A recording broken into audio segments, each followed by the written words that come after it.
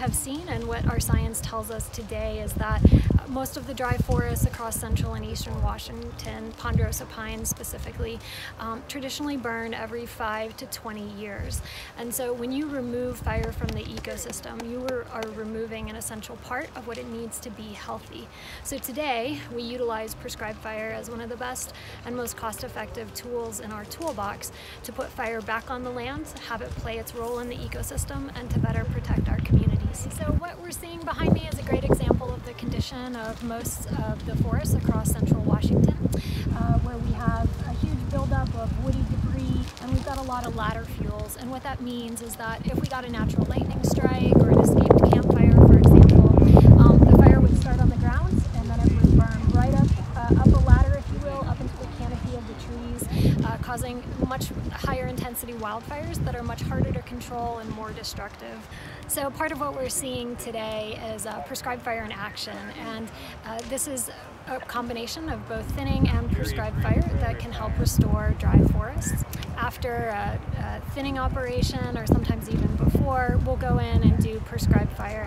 And what that means is putting fire back on the landscape to help keep it um, open, to help reduce those ladder fuels, to help keep the canopy raised and off the ground, um, to really help the forest function like it should, both for uh, water, uh, air resources, as well as wildlife. Um, and prescribed fire is an essential part of that. There's different strategies and way to do, ways to do it, and they're building a pretty good black line. Building black means out from the road, they burn part of it um, and make it black. So that's why they call it black line, right? So maybe 20, 30, 40, 50 feet, they'll go in, there'll be a strip along this road of black.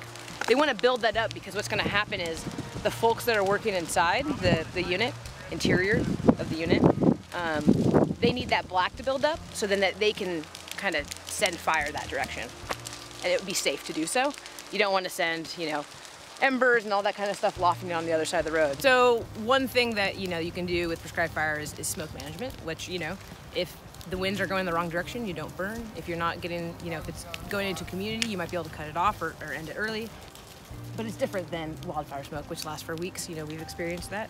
Prescribed fire smoke might last a day, a couple days, um, and it's a lot lighter intensity, um, and then it will move through and, and be out of there.